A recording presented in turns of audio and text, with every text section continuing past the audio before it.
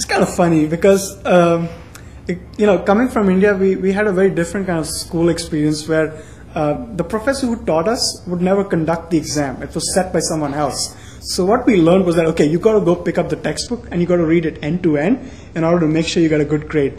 Well, I started doing that same practice as soon as I started school, and I found that it was so humongous to go through the entire textbook, whereas instead what I should be doing is just reading the notes that the professor has given and following the prescribed stuff that he's given.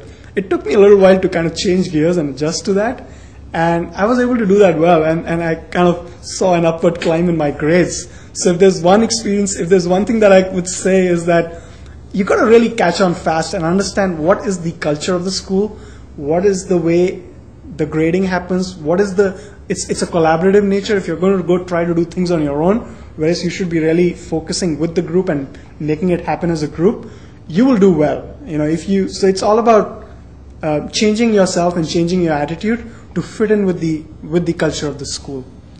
That's my two cents on what I would have done better if I were back three years from now.